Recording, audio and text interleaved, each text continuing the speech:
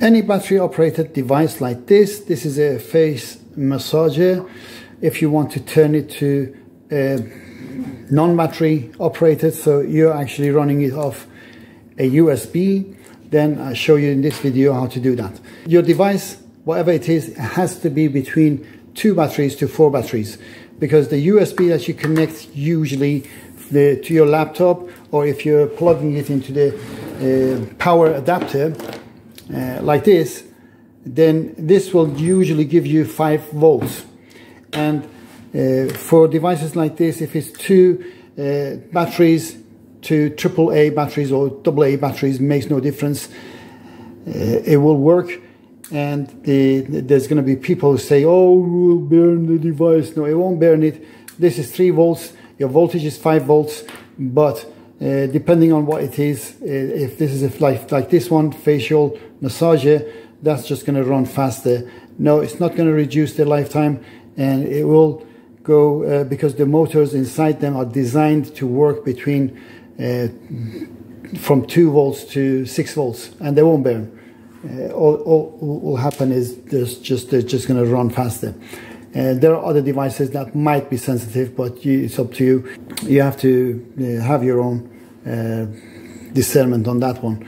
Uh, all you have to do, first of all, make sure you know which ones are actually your uh, positive and negative poles of the battery to make sure, because one end of these are actually just a plate just a plate and you can usually see them like this one you can actually see a plate connected from negative to positive so you're not connecting negative and positive of the USB to these ports you have to connect them to these ends.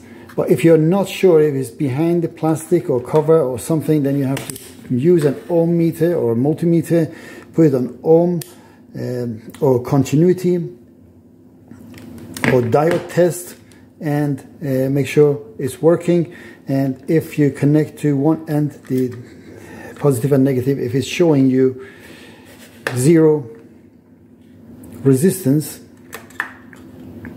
like this that means this is just joined together. So you don't use your power your positive and negative to this one. You connect it to this end. Uh, and that is it. So how you do that? You get one of these USB leads. You chop off the C-type end of it like this. You just uh, this end is cut and we don't need it we just put it aside for other projects and you have inside that two wires when you strip the uh, cable make sure you're not damaging the wires insulations and then uh, strip the black and red wires separately and connect them to your positive and negative. Red goes to the positive end where is where there is no spring and negative or black goes to the spring side of the device. Now for demonstration purposes I'm only using the crocodile clips just to show you how it works. For you, you can um, if you know, you know, you've got your tools and you're a professional, then you can actually run your lead through a hole and connect it or solder it to these ends and that's permanent. And then all you have is just this USB to connect it to your either laptop or the power adapter and that's it. Bob's your uncle. The device is running without a battery.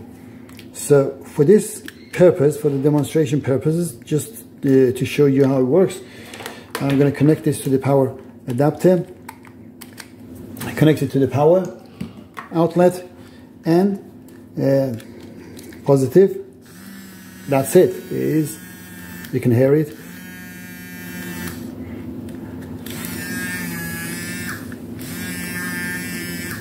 And that's all.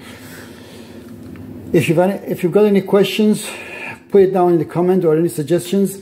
But like I said, for any device between two batteries to four batteries, you can use this and it will be fine. Most likely, most of the devices will be fine unless they are uh, sensitive to the absolute voltage. Uh, in that case, you will need a resistor in line with, uh, uh with one of the wires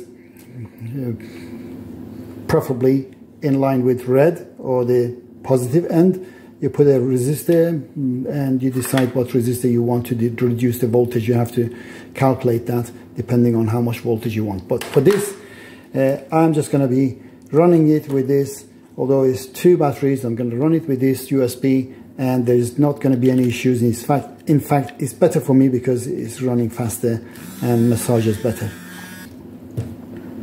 And that's it. If this video helped you, don't forget to subscribe and hit the bell for upcoming videos. Uh, and if this video also helped you, you can consider buying me a cup of coffee. Thank you very much.